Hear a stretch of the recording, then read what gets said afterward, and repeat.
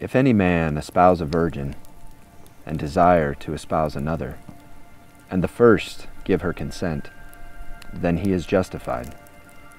For he cannot commit adultery, for they are given unto him.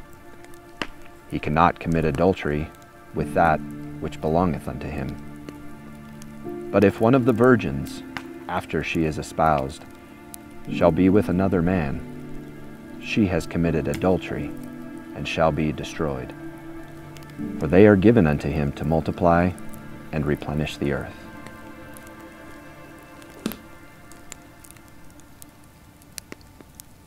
Is it destroyed, Mary? Yes, Mother.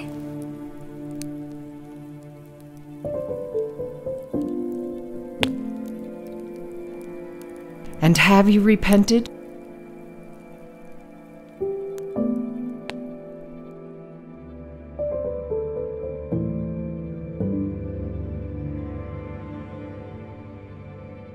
Yes.